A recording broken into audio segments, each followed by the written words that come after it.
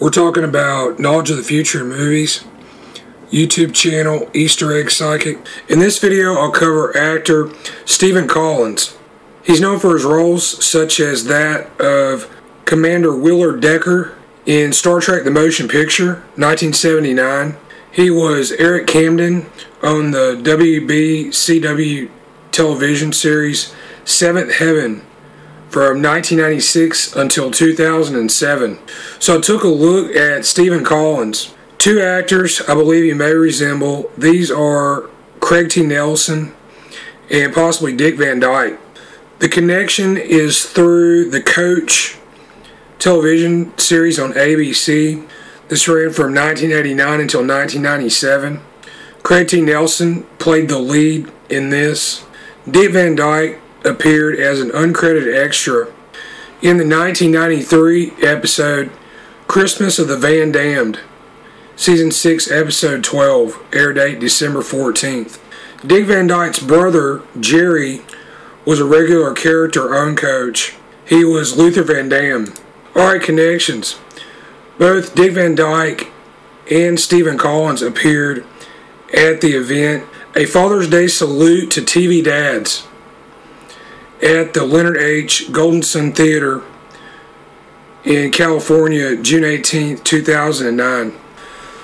Both Stephen Collins and Craig T. Nelson, they were on separate episodes of the Charlie's Angels television series.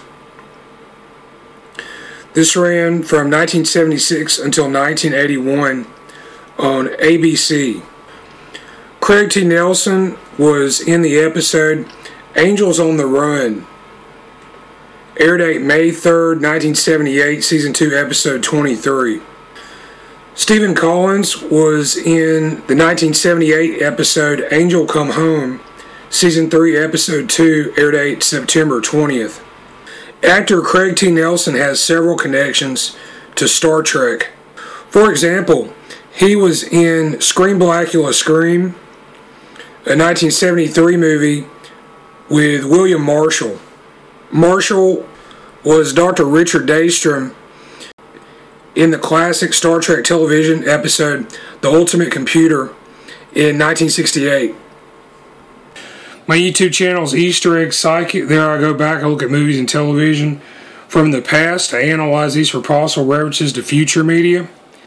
These may appear in the form of anecdotes, idioms, anagrams, hidden in the subtext of the work in question. I also use an unconventional method where I look at the likenesses of the actors.